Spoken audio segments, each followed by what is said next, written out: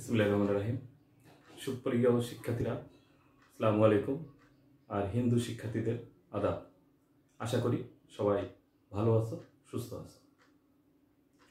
আজ আমি মোহাম্মদ দিলুরুজ্জামান, সহকারী শিক্ষক, সরকারি বালিকা উচ্চ বিদ্যালয় Dinajpur Dinajpur government girls high স্কুলের অনলাইন ক্লাসের পক্ষ থেকে শুভেচ্ছা ও স্বাগতম জানাচ্ছি। গতদিনের ধারাবাহিকতায় আজকে আমি সপ্তম শ্রেণির দ্বিতীয় অধ্যায়, সমানুপাত ও লাভ ক্ষতি এর অনুশীলনী দুই পয়েন্ট তিনে স্রোত এবং নৌকা বা জাহাজ বিষয়ক অঙ্কগুলো করব। এই অঙ্কগুলো করার পূর্বে আমাদের দুটো জিনিস সম্পর্কে জানা প্রয়োজন। একটি হলো নৌকা স্রোতের অনুকূলে নৌকার বেগ এবং স্রোতের প্রতিকূলে নৌকার। স্রোতের অনুকূলে নৌকার বেগ।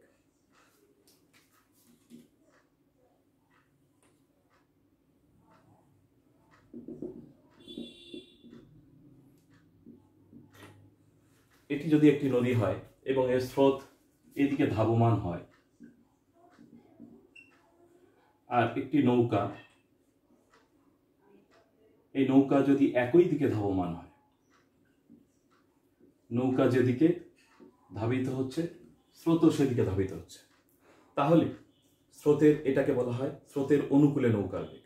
অর্থাৎ আমরা লিখতে পারি স্রোতের অনুকূলে নৌকার বেগ। এই নৌকার বেগ শর্তের অর্থ নৌকার কার্যকরী গতিবেগ। নৌকার বেগ, এখানে স্রোতের বেগের সাথে নৌকার বেগ যুক্ত হবে। অর্থাৎ নৌকার বেগ যোগ স্রোতের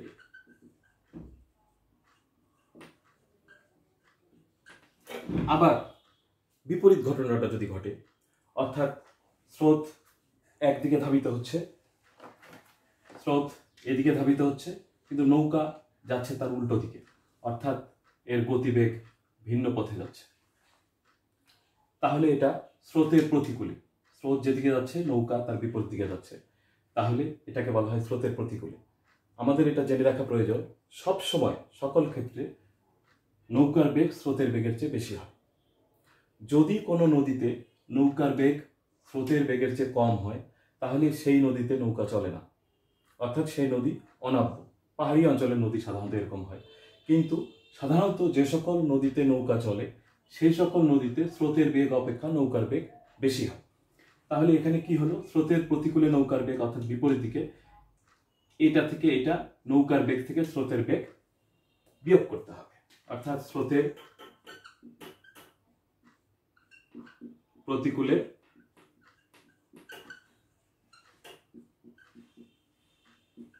নৌকার বেগ সমান নৌকার বেগ বিয়োগ স্রোতের বেগ। অনেকে এই নৌকার বেগের পরিবর্তে এখানে অনেকে লেখে নৌকার কার্যকরী গতিবেগ। নৌকার কার্যকরী গতিবেগ। নৌকার কার্যকরী গতিবেগ অত বড় না লিখে আমরা শুধু নৌকার বেগ লিখলেও হবে। এবার আমরা অঙ্কে চলে আসছি। আমাদের তিনটা অঙ্ক আছে এই স্রোত এবং নৌকা বিষয়ক জাহাজ বিষয়ক অঙ্ক।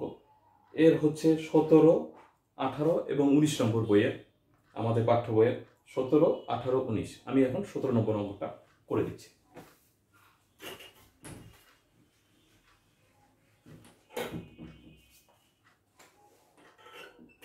সতেরো অঙ্কটি আমি পড়ছি, দেখো। স্রোতের অনুকূলে একটি নৌকা চার ঘন্টায় ছত্রিশ কিলোমিটার পথ অতিক্রম করে। অর্থাৎ স্রোতের অনুকূলে, স্রোতের দিকে, নৌকা যেদিকে যায় স্রোত ওইদিকে যদি থাকে, তাহলে নৌকাটি চার ঘন্টায় ছত্রিশ কিলোমিটার পথ অতিক্রম করে। এবং স্রোতের বেগ প্রতি ঘন্টায় তিন কিলোমিটার হলে, স্রোতের বেগ প্রতি ঘন্টায় তিন কিলোমিটার হলে স্থির পানিতে নৌকার বেগ কত? স্থির পানিতে নৌকার বেগ কত? তাহলে আমি প্রথমেই লিখব দেওয়া আছে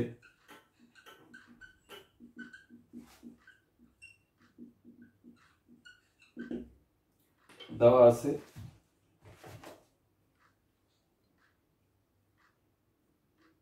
স্রোতের বেগ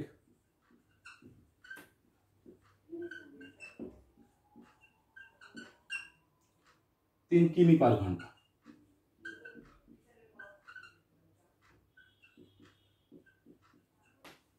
আবার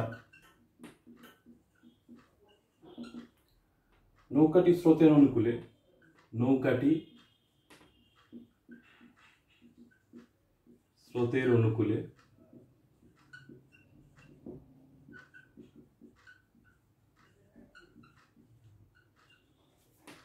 চার ঘন্টায় যায় ছত্রিশ কিলোমিটার। চার ঘন্টায় যায় ছত্রিশ কিমি।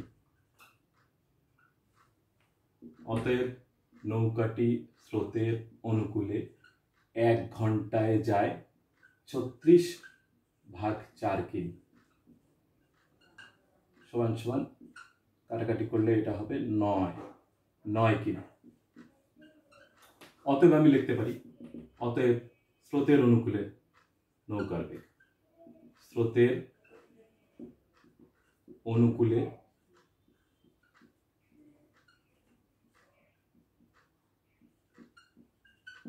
নৌকার বেগ। নয় কিমি। এখানে একটা জিনিস খেয়াল করবা। দেখো, এখানে আমি কিন্তু ঘণ্টা লিখিনি, কারণ এক ঘন্টায় যায় নয় কিলোমিটার। কিন্তু এখানে ঘন্টাটা দেওয়া হয়নি, তাই এখানে লিখতে হবে নৌকার বেগ পার ঘণ্টা। এখানে ঘণ্টা লেখা যাবে না, আর এখানে ঘণ্টা লিখতে হবে। কারণ এখানে এখানে ঘণ্টা শব্দটা দেওয়া নেই। তাহলে আমি স্রোতের অনুকূলে নৌকার বেগ পেলাম নয় কিমি পার ঘণ্টা। এবার বলছে, স্থির পানিতে নৌকার বেগ। তাহলে আমার সূত্র জানা আছে, বা আমরা জানা আছে,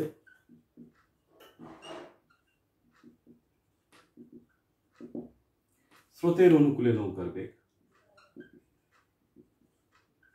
স্রোতের অনুকূলে নৌকার বেগ।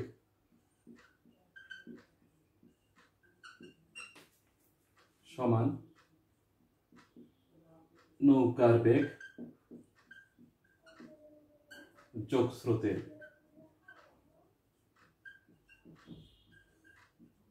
দেখো, এই তিনটার মধ্যে আমার দুটো জিনিস স্রোতের অনুকূলে নৌকার বেগ দেওয়া আছে আর স্রোতের বেগ দেওয়া আছে। তাহলে এখান থেকে আমি নৌকার বেগ বের করতে পারব। এখন এখান থেকে যদি আমি লিখি, অতএব লিখতে পারি, বা বা দিয়েও লিখতে পারি, বা স্রোতের অনুকূলে নৌকার বেগ কত? নয় কিমি পার ঘণ্টা।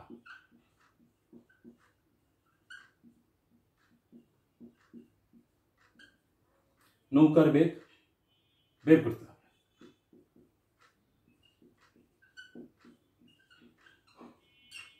যোগ, স্রোতের বেগ তিন কিমি পার ঘণ্টা।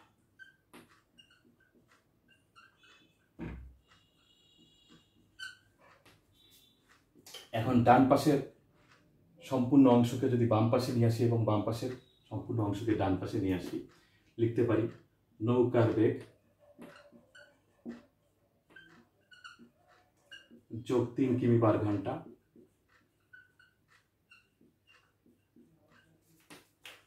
সমান নয় কিমি পার ঘণ্টা। বা নৌকার বেগ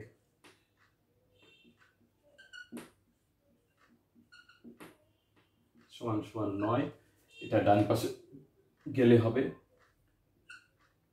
বিয়োগ তিন, যোগ চিহ্ন আছে, ওই পাশে গেলে হবে বিয়োগ। কিমি পার ঘণ্টা। বা নৌকার বেগ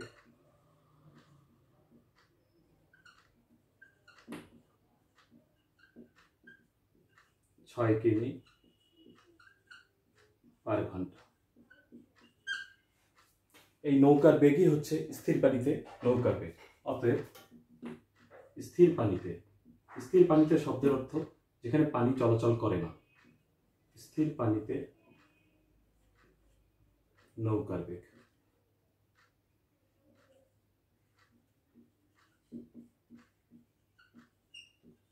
ছয় কিমি পার ঘণ্টা। এটাই উত্তর। এই অঙ্কটা দেখো, পরবর্তী অঙ্কটি দেখো। উনিশ নম্বর। একই রকম, এটা স্রোতের অনুকূলে ছিল, পরবর্তীটা আমি পড়ছি দেখো আঠারো নম্বর। স্রোতের প্রতিকূলে একটি জাহাজ এগারো ঘন্টায় সাতাত্তর কিলোমিটার পথ অতিক্রম করে। অর্থাৎ এগারো ঘন্টায় সাতাত্তর কিলোমিটার পথ অতিক্রম করে স্রোতের প্রতিকূলে। স্থির পানিতে জাহাজের গতিবেগ প্রতি ঘন্টায় নয় কিলোমিটার হলে স্রোতের গতিবেগ প্রতি ঘন্টায় কত? স্থির পানিতে জাহাজের গতিবেগ নয় কিলোমিটার পার ঘণ্টা। তাহলে এটাই আমি প্রথমে লিখব। আঠারো।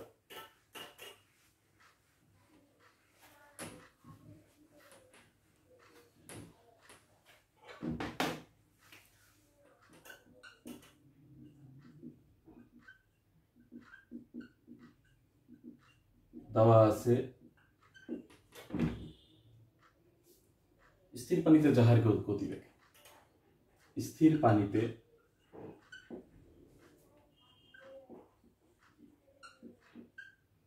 জাহাজের গতিবেগ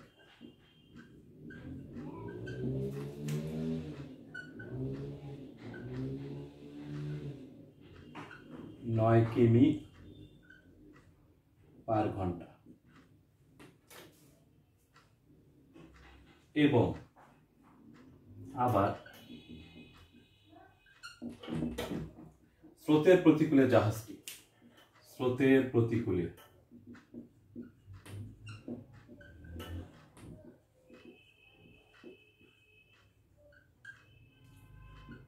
জাহাজটি এগারো ঘন্টায় যায় সাতাত্তর কিলোমিটার।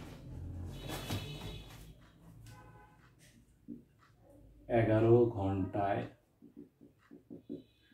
যায় সাতাত্তর কিমি। অতএব স্রোতের প্রতিকূলে জাহাজটি এক ঘন্টায় যায় সাতাত্তর ভাগ এগারো। কিমি? সমান সাত কিমি পার ঘণ্টা। এটা দিয়ে এটা কাটলে সাত। অতএব আমি লিখতে পারি? অতএব স্রোতের প্রতিকূলে স্রোতের প্রতিকূলে জাহাজের বেগ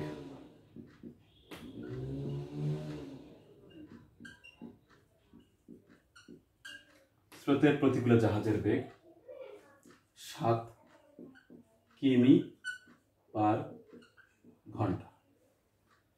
আবার জানা আছে,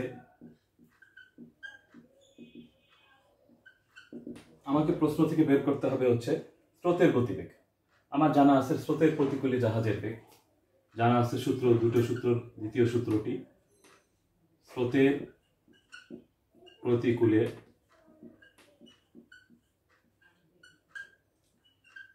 জাহাজের বেগ।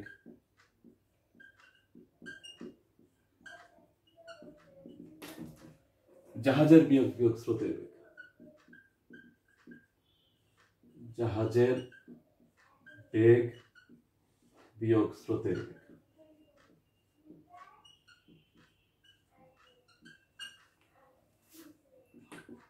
বা এখানে যদি আমরা সূত্রতে মান বসিয়ে দিই, প্রতিকূলে জাহাজের বেগ।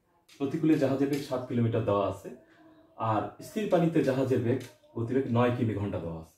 অর্থাৎ জাহাজের বেগ দেওয়া আছে নয় কিমি পার ঘণ্টা, আর প্রতিকূলে দেওয়া আছে সাত কিমি পার ঘণ্টা।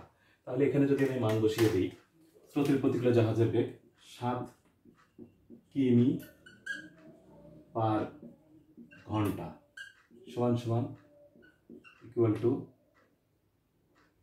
নয় কিমি পার ঘণ্টা বিয়োগ স্রোতের বেগ।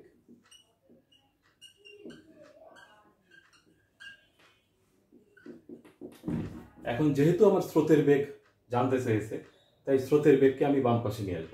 কিন্তু স্রোতের বেগের পূর্বে মাইনাস চিহ্ন আছে, তাই এটা এই পাশে হলে হবে প্লাস স্রোতের বেগ। নয়, এটা আছে ধনাত্মক। ওই পাশে গেলে হবে মাইনাস ঋণাত্মক।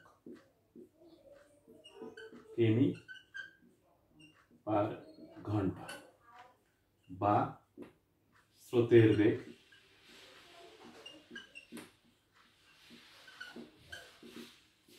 দুই কেমি পার ঘণ্টা। অতএব স্রোতের বেগ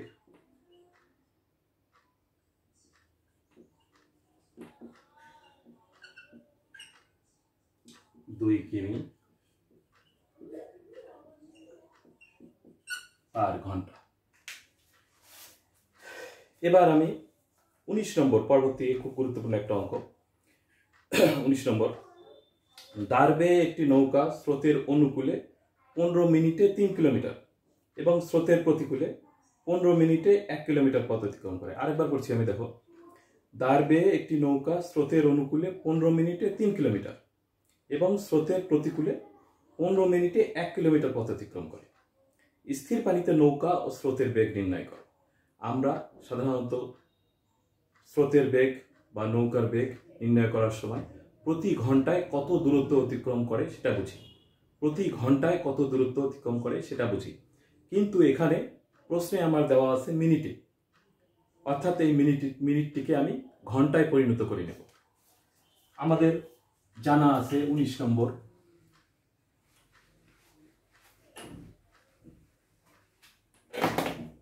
প্রথমে মিনিটটিকে আমি ঘন্টায় পরিণত করে নেব। জানা আছে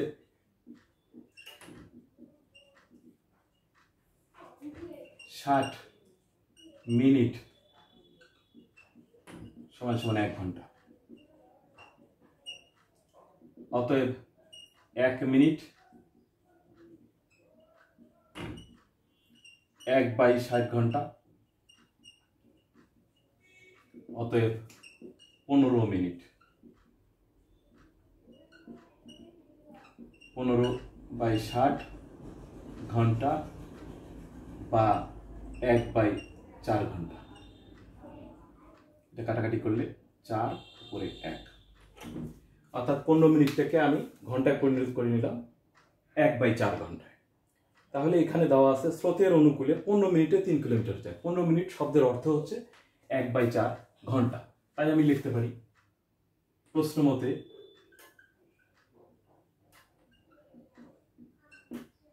স্রোতের অনুকূলে স্রোতের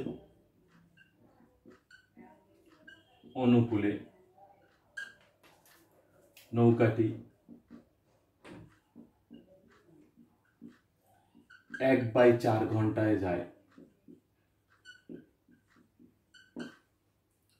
তিন কিমি। অতএব স্রোতের অনুকূলে নৌকাটি নৌকাটি এক ঘন্টায় যায়। তিন গুণন চার ভাগ এক কিমি। সমান সমান বারো কিমি অতএব আমি লিখতে পারি, অতএব স্রোতের অনুকূলে নৌকার বেগ স্রোতের অনুকূলে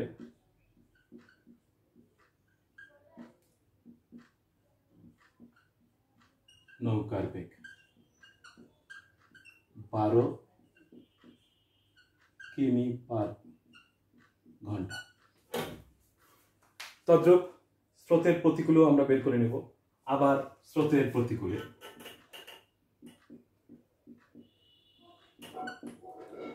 স্রোতের প্রতিকূলে।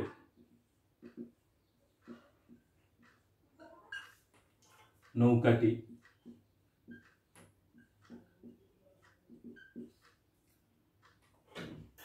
পনেরো মিনিট, অর্থাৎ এক বাই চার ঘন্টায় যায় এক কিলোমিটার।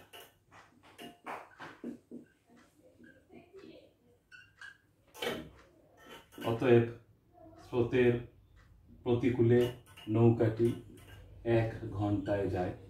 এক ঘণ্টা বেশি দূরত্ব অতিক্রম করবে। এক গুণন চার ভাগ এক কিমি। সমান চার কিমি। তাই উপরেরটার মতো আমি লিখতে পারব। অতএব স্রোতের প্রতিকূলে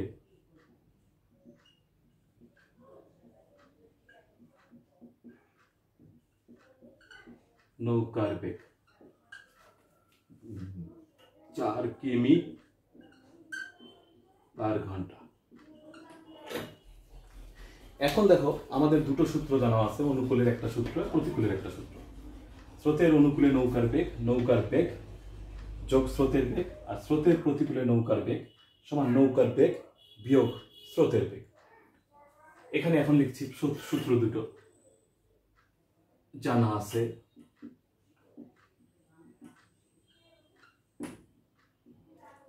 স্রোতের অনুকূলে নৌকার বেগ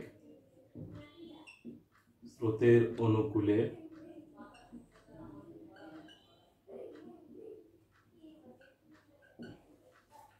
নৌকার বেগ সমান নৌকার বেগ যোগ স্রোতের বেগ।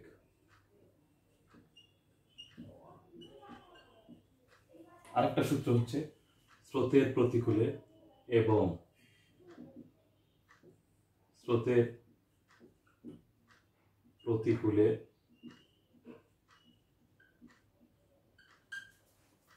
নৌকার বেগ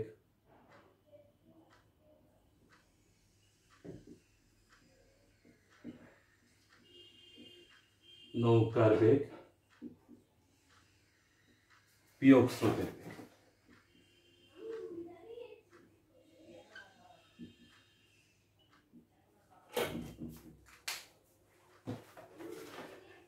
এখন আমরা এই দুটো তথ্যই পেয়ে গেছি। এখন এই দুটো তথ্য আমরা লিখব। একটা হচ্ছে স্রোতের অনুকূলে নৌকার বেগ বারো কিলোমিটার পার ঘণ্টা। আর একটা হচ্ছে স্রোতের প্রতিকূলে নৌকার বেগ চার কিলোমিটার পার ঘণ্টা। তাহলে আমরা এই দুটো তথ্যকে এর সমান বলতে পারি। অর্থাৎ নৌকার বেগ আমরা লিখতে পারি অতএব আমরা লিখতে পারি অতএব নৌকার বেগ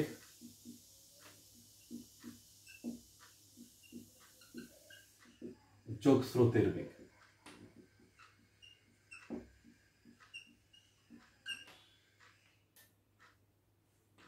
সমান আমরা পেয়েছিলাম বারো কিলোমিটার পার ঘণ্টা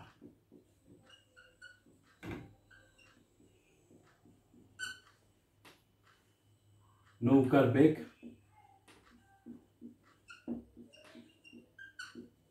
বিয়োগ স্রোতের বেগ।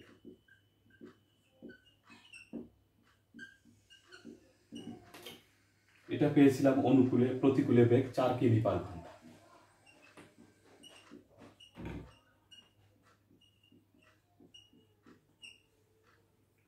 এবার দাগ টেনে আমরা যদি যোগ করি এখানে, যোগ করে, যোগ করলে স্রোতের বেগ স্রোতের বেগ কাটা যাবে। দুই গুণ নৌকার বেগ মানে দুটো নৌকার বেগ হবে। নৌকার বেগের দ্বিগুণ সমান সমান বারো যোগ চার, ষোলো কিলোমিটার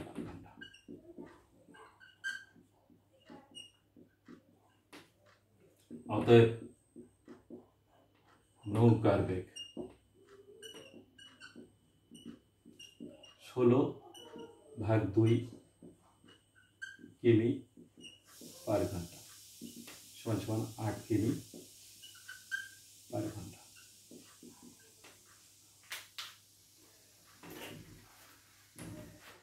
এখন আমাদের প্রশ্নে, নৌকার বেগ জানতে চেয়েছে, স্রোতের বেগ জানতে চেয়েছে? অতএব নৌকার বেগ।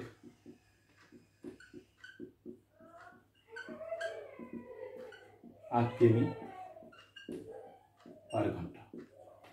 স্রোতের বেগ জানতে চেয়েছে। স্রোতের বেগ, আমরা যদি কেউ এখানে এটা বিয়োগ চিহ্ন দিয়ে করি, তাহলে স্রোতের বেগ বের হবে। তবে সবচেয়ে সহজ পদ্ধতি হচ্ছে, এই দুটোর যে কোনো একটাতে নৌকার বেগ যোগ স্রোতের বেগ অথবা নৌকার বেগ যোগ স্রোতের বেগ, দুটোর যে কোনো একটার মধ্যে নৌকার বেগের মান বসিয়ে দেওয়া তাহলে একটু তাড়াতাড়ি হবে। অতএব আমি লিখতে পারি, নৌকার বেগ যোগ স্রোতের বেগ, নৌকার বেগ যোগ স্রোতের বেগ।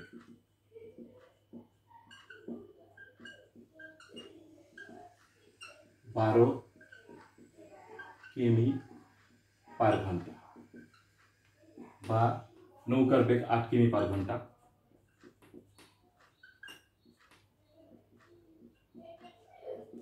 जो स्रोतर बेग।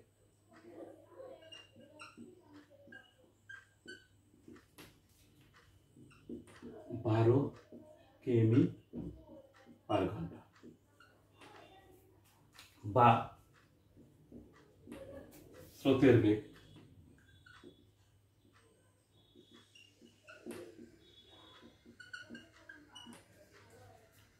বারো বিয়োগ আট কিমি পার ঘণ্টা সমান চার কিমি পার ঘণ্টা অতএব নৌকার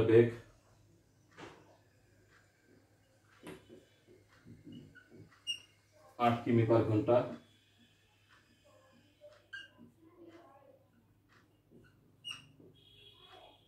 এবং স্রোতের বেগ চার কিমি পার ঘণ্টা।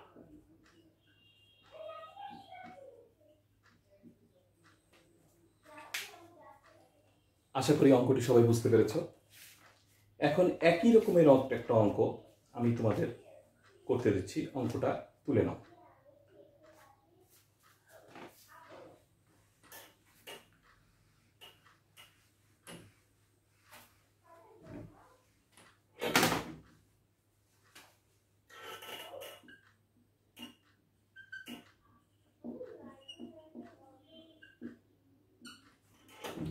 একটি নৌকা স্থির পানিতে একটি নৌকা স্থির পানিতে ঘন্টায় স্থির পানিতে ঘন্টায় ছয় কিমি যেতে পারে।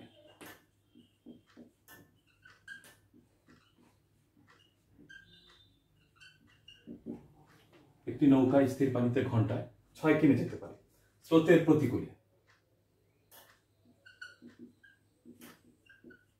স্রোতের প্রতিকূলে।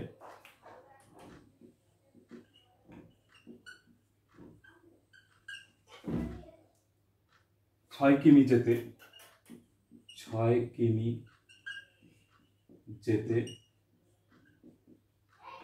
নৌকাটির তিন গুণ সময় লাগে।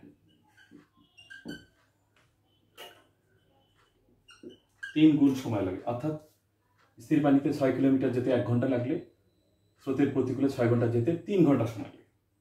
স্রোতের অনুকূলে স্রোতের অনুকূলে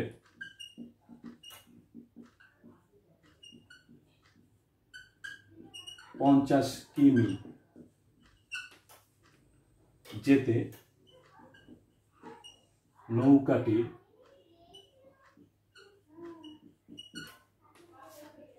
কত সময় লাগবে?